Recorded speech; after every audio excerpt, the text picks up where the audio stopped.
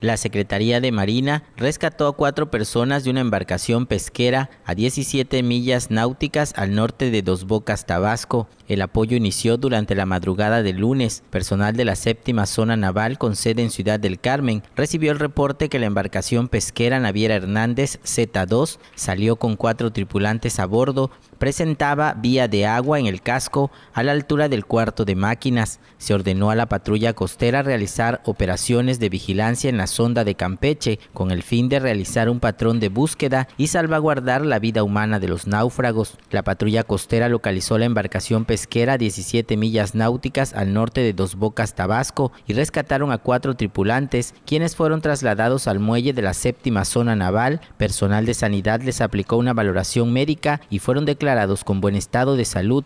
Edición de Brandon Fuentes, Cristian Ochoa, Telemar Carmen.